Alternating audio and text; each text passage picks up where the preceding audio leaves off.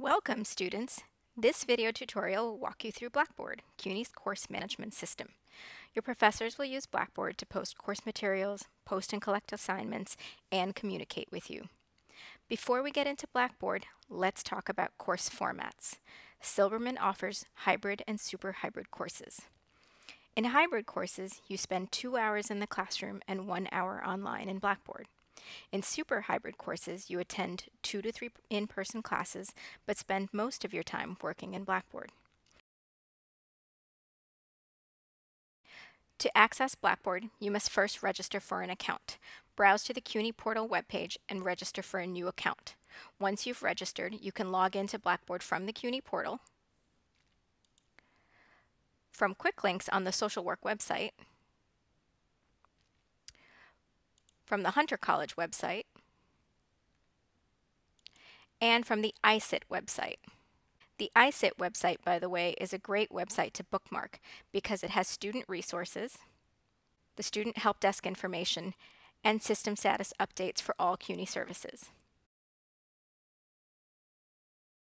This is the main page for Blackboard. Before we look at a sample course, let's update our email address. On the left-hand side, you'll see a Tools widget. Click on Update Email Address to switch over from your Gmail, AOL, Queens College, Baruch, or another email to your MyHunter email address. Okay, so let's move on to your courses. Your courses will be listed on the right-hand side. If you don't see any courses listed here, make sure that the triangle is facing down.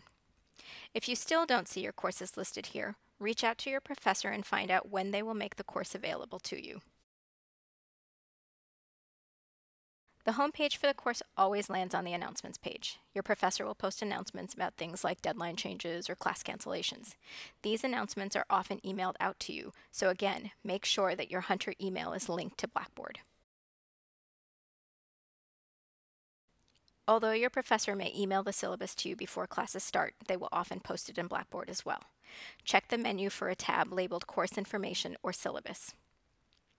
The syllabus may be a downloadable Word file or it may be a PDF which opens up in the browser. Note that the PDF can be printed or downloaded.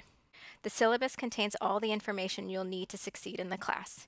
It has instructor contact information, the course description, course learning objectives, the applicable Council on Social Work Education competencies, required materials, the assignments, grading scheme, all of the Hunter College and Silberman School of Social Work policies, as well as a week-by-week -week outline.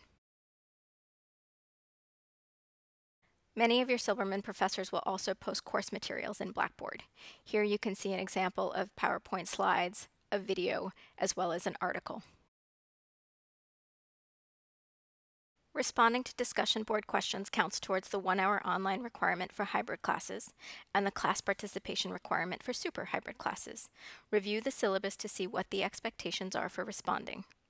Many professors will expect you to respond to the posted questions and comment on a classmate's post. Before you respond to a discussion question, check for a grading rubric. A grading rubric outlines the criteria that your professor will look for as they grade your responses. To do this, you can click on Grading Information, if you see a little box on the right, open it up. This is your grading rubric. To respond to your professor's post, click Create Thread, and to respond to your classmate, open up their post and click Reply or Quote. In addition to participating in discussions, you may have one or more individual assignments. Here you can see an example of a lit review, a final term paper, and a quiz module. If we click into the lit review, you can see the due date, the points possible, as well as rubric. Not all professors will include a rubric. If they do, take a look at it before you start writing. For longer written assignments, your professor may use Turnitin. Turnitin is a software used to detect plagiarism. You'll know it's a Turnitin paper because you'll see the Turnitin logo.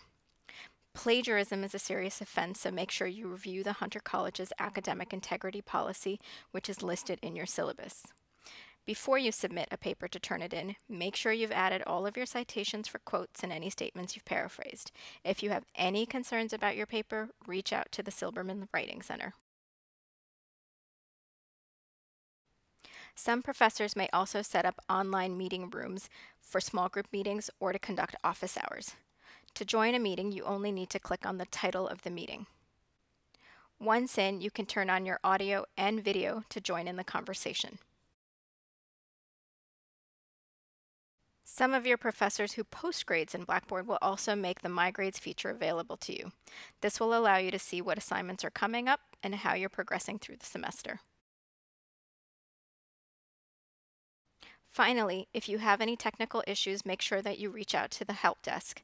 Contact information is posted in every Blackboard course site. Make sure you let your professor know as well, especially if the technical issues are affecting your ability to meet a deadline. So that's all we have for this Blackboard tutorial. Good luck with your semester!